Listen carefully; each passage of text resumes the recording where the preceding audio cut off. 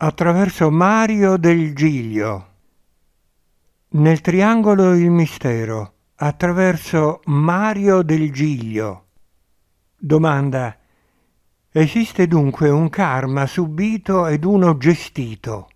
Quello subito è tutto ciò che ci accade non per nostra volontà. Quello gestito è quello che determina il nostro comportamento nei confronti degli altri come ci dobbiamo comportare in ambedue i casi. Risposta. Non bisogna considerare il karma come se fosse un dare ed un avere.